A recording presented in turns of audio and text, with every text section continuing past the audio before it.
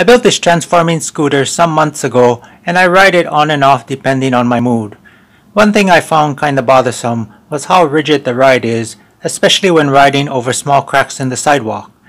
Today I want to smooth out the ride, maybe. To see how I do this, stay tuned.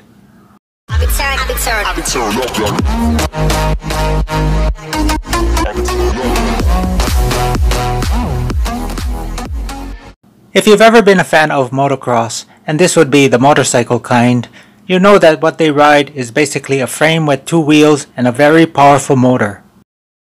I know suspension plays a big part in this also, but suspension aside, the point I want to make is that's basically what an electric skateboard is, except with more wheels. Looking at the dirt bike again, you'll notice the front wheel diameter is larger than the rear wheel. The reason for this, along with help from the shock absorber, is the larger front wheel helps provide stability and control over typical motocross terrain. On the other hand, the smaller rear wheel helps with the torque and power with a smaller motor than would have been needed if you had used a rear wheel the same size as the front. With that in mind, I'm guessing the size of my Meepo's rear wheels are just fine for the electric motor that it was designed with, so I won't be touching that in this project. What I'm going to do is see if I can DIY or buy two larger front wheels to see if the motocross concept applies to my electric scooter and maybe help smooth out its ride.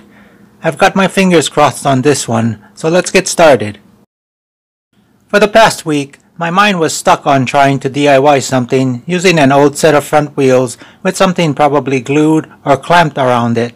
The clamp-on one really stood out because if I did create something like that, I could probably sell it as well. Then one day, I decided to look up 4-inch skateboard wheels on Amazon.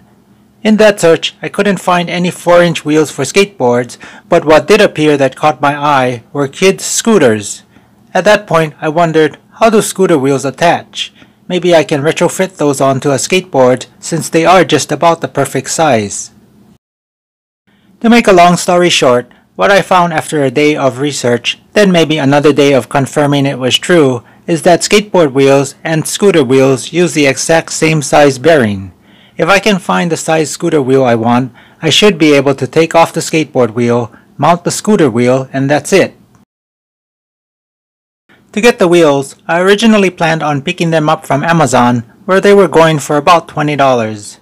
Instead, out of anxiousness, I came across this scooter while grocery shopping and since it looked like it had the wheel size I needed, I bought it. $40 but with no delivery wait time. Removing the wheels from the scooter requires two Allen wrenches in the size of the single one provided with the scooter. The wheels were pretty easy to remove, 2 minutes and 2 Allen wrenches and it was no problem.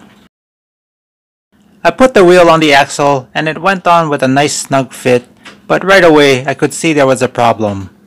If you look closely at the remaining axle sticking out of the wheel, there's less than a quarter inch of threads left. I decided to at least test the new setup.